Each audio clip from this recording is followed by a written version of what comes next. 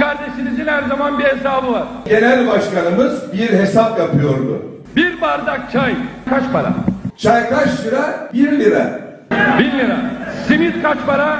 Bir simit aldığın takdirde o da 1 lira. Ne yaptı? 2 lira doğru mu? Üç tane çocuğunuz. Hatun dört. Siz beş. 5 kişilik bir aileden yapacağım hesabı.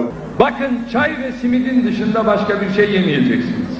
Sabah, öğle ve akşam çay ve simit. Sadece çay ve simit. Asgari ücret kaç lira? Kaç para asgari ücret? 2020 lira koyduk kenara. 2000.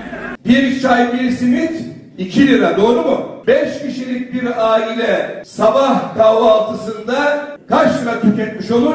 Ne yapar? 10 lira. 3 öğün 10 çarpı 3 kaç lira? Ne yapar? 30 lira. Evet bir günde 5 kişilik ailenin gideri 30 lira. Bir ay kaç gün? 30 gün. Ay 30 gün. 30 çarpı 30 eşittir Ne yapar? 900 lira. 2020 eksi 900 lira ne yapar? Efendim? Kaç? 1120. Demek ki 1120 lira cebinde kalıyor.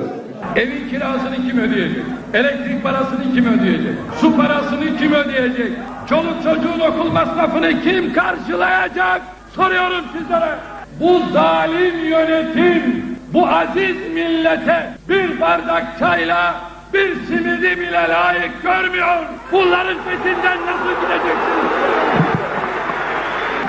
İşte ekonomik durum bu.